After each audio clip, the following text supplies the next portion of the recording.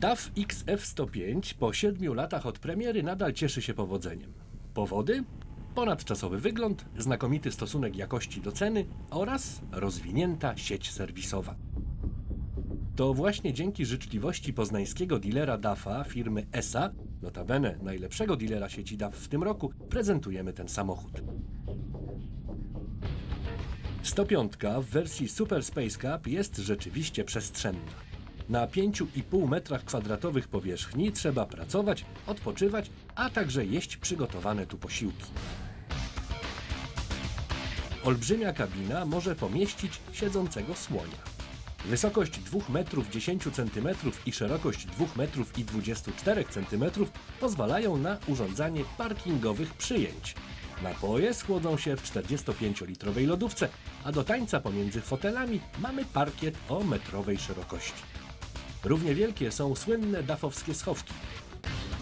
Ich zaletą jest możliwość zamknięcia na kluczy. Docenią to kierowcy jeżdżący w krajach południa Europy. Polecamy także fabryczny nocny rygiel drzwi, wygodniejszy w użyciu niż ściąganie drzwi pasami.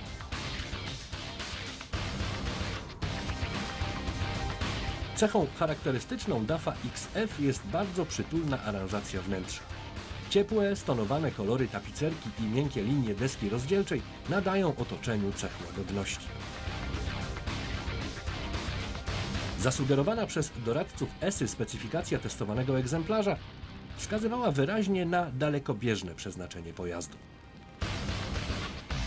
Pod dużą kabiną znalazł się 460-konny silnik z rodziny Packard MX wzbogacony o system selektywnej redukcji spalin SCR.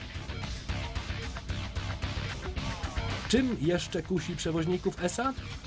Wielkimi jak tankowiec zbiornikami paliwa, pozwalającymi zwiększyć zasięg auta do paru tysięcy kilometrów. Co prawda brakuje przez to miejsca na koło zapasowe, ale od czego mobilne serwisy ogumienia.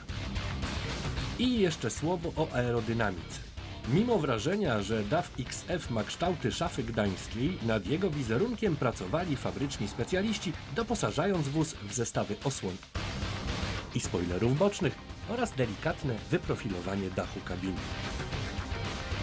Wraz z autem otrzymaliśmy naczepę szacownej firmy Kegel, bo poznańska ESA jest także przedstawicielem tego producenta.